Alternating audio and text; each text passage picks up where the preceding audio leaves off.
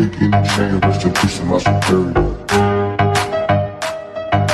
Big in the chain.